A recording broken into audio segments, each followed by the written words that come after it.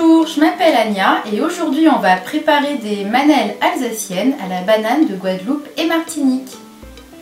Pour préparer cette recette, il nous faut 3 œufs, 500 g de farine, 100 g de sucre, 200 g de lait, 25 g de levure boulangère, un emporte-pièce en forme de petit bonhomme, 100 g de beurre et des bananes de Guadeloupe et Martinique. Pour commencer cette recette, vous faites tiédir la moitié de votre lait. S'il sort du frigo, c'est mieux dans une casserole. Vous ajoutez la levure. Vous mélangez un petit peu.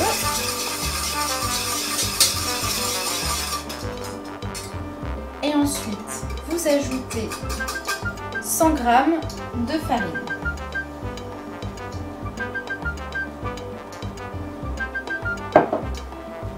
Et vous pouvez ensuite remélanger. Une fois votre première préparation bien mélangée, elle doit avoir la consistance d'une boule assez compacte. Prenez un linge propre, zou et recouvrez pendant 20 minutes pour laisser lever la pâte. Pendant que la pâte est en train de lever, on fait fondre le beurre. Attention, il ne faut surtout pas le faire bouillir, ça serait la cata ajouter au beurre le reste du lait.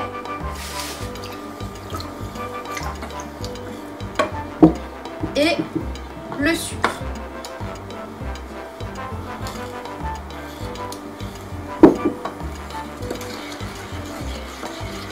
Il faut mélanger autant que possible.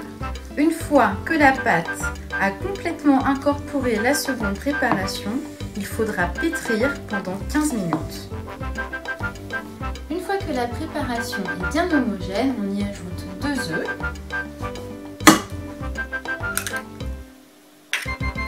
Et ensuite, on y ajoutera le reste de la farine. Incorporez donc la farine à l'aide d'un feu.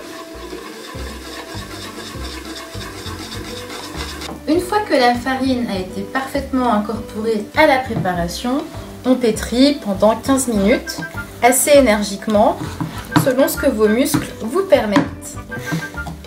Une fois qu'on a bien pétri la pâte pendant 15 minutes et qu'en plus on s'est fait des muscles, on incorpore la banane de Guadeloupe et Martinique. C'est ce qui va donner toute la saveur à notre recette. Alors, la petite technique, c'est de la couper d'abord dans la longueur et ensuite dans la largeur. Il faut que les carrés soient le plus petit possible ils peuvent être un petit peu mal coupés. Le but c'est qu'ils soient au mieux incorporés dans la pâte pour qu'elle puisse lever ensuite pendant 30 minutes. Ma banane de Guadeloupe et Martinique est coupée. On l'incorpore à la pâte.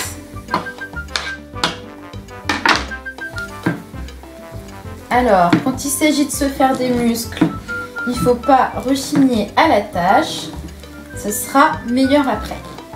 Une fois la banane de Guadeloupe et Martinique dans la pâte, on reprend notre torchon, on recouvre et on laisse lever pendant 30 minutes. Une fois que votre pâte a bien travaillé toute seule pendant 30 minutes, prenez une bonne dose de pâte, mettez-la sur de la tôle préalablement farinée N'hésitez pas à vous aider d'un petit couteau et étaler la pâte. On étale bien la pâte. On prend notre petit bonhomme. Hop Et moi, j'ai la place d'en faire deux. Voilà nos petits bonhommes, il n'y a plus qu'à les enfourner thermostat 6 pendant 25 minutes. Nos manelles d'Alsace à la banane de Guadeloupe et Martinique sont prêtes. Bonne dégustation